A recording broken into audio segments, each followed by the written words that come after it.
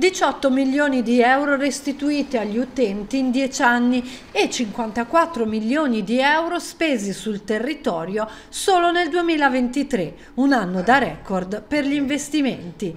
Gaia SPA traduce così in numeri il suo impegno sul fronte della responsabilità sociale d'impresa e lo fa nel corso di un convegno organizzato ad hoc insieme all'Università di Firenze. Gaia proprio come azienda pubblica negli ultimi dieci anni pensate che ha restituito circa 18 milioni di euro ai propri utenti attraverso due strumenti ormai da anni nel bilancio della società che sono il fondo utenze disagiate e il fondo nuovi investimenti. L'anno 2023 ha segnato l'anno record di investimenti per il gestore nella sua storia, 131 euro di investimenti pro capite e 54 milioni in valore assoluto, quindi siamo nel picco. Tra le opere finanziate il raddoppio del depuratore di Viareggio pareggio che dovrebbe essere completato nel giro di pochi mesi, il rinnovo delle infrastrutture per la lotta alle perdite e l'estensione della rete fognaria.